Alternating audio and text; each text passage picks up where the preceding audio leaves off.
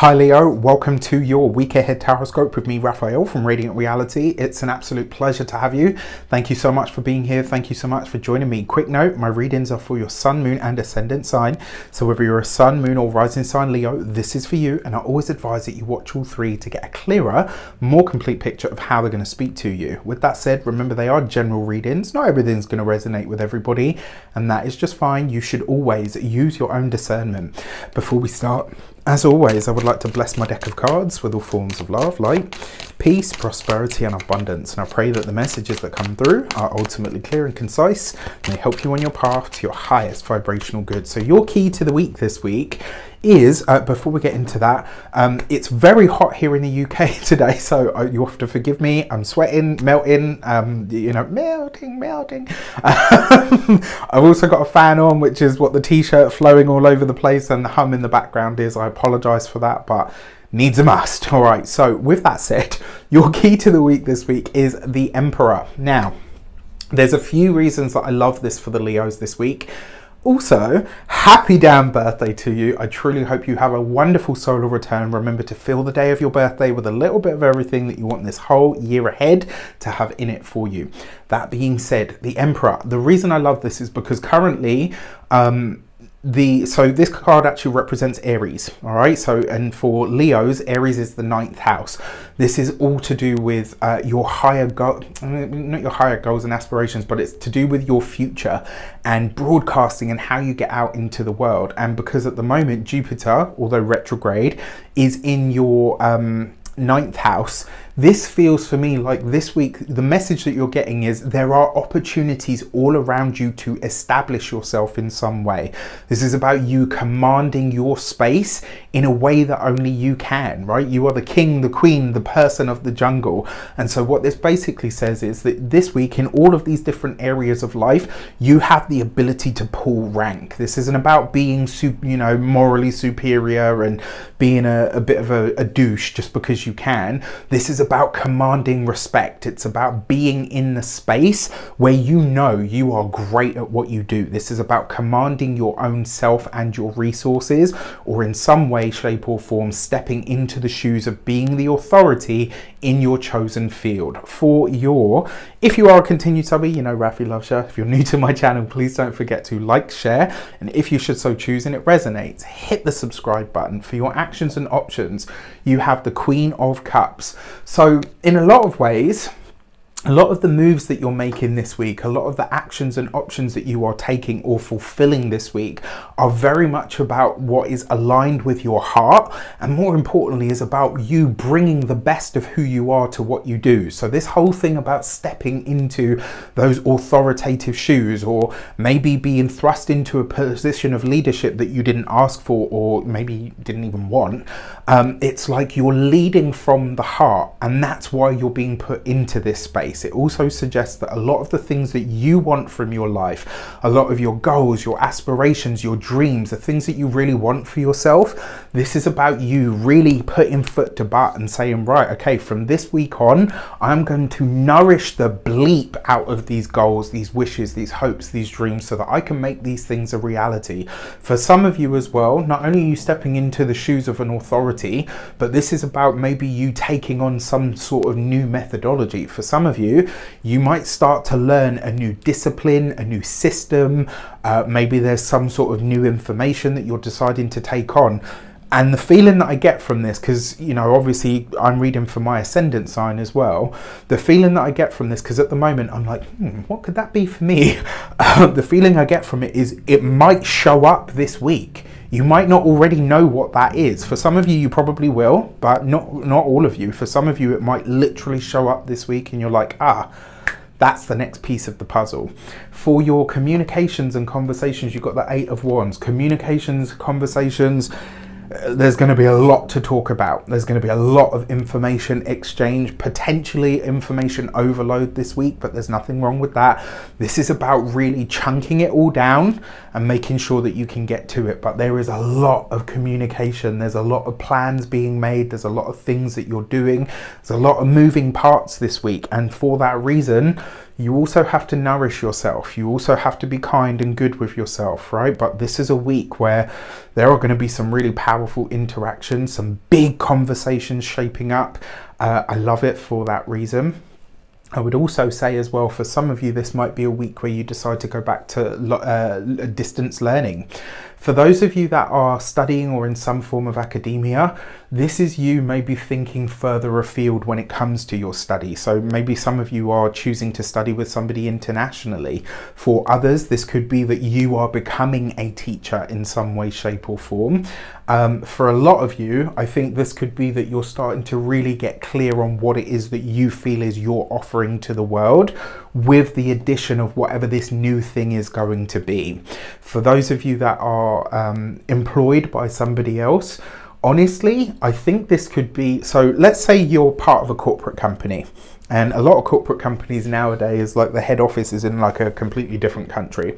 And this week, I kind of feel like maybe you're interacting with the higher ups in your job, with the higher ups in your company, or at least your your name is in certain mouths that you are not as yet aware of. And when this comes to light and you start to realize, wow, you actually know who I am, that's kind of cool.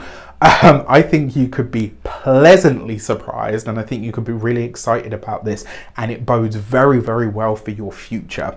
For those of you that are um, business owners, entrepreneurs, solopreneurs, people that work for themselves, Honestly, I think this is a lot of you really starting to understand the value and the power in really good connections. A lot of Leos for a very long time now, especially Leo ascendants, have been quite hermetic, and I feel like a lot of you are starting to really step out of that now.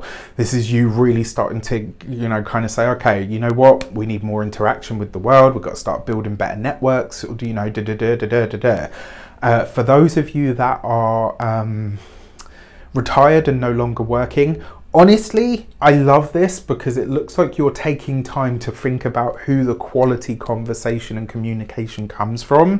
For those of you that are actively looking for work, it's going to be through your networks, potentially from a mother, a sister, an aunt, or somebody on the sort of female feminine side of your, your world. Those are the people that are bringing you the opportunities that you need women in general will be bringing you what you need this week, but also don't be afraid to get a little bit rough and tumble with all of it. Okay, like this is a time where you really need to show up for yourself.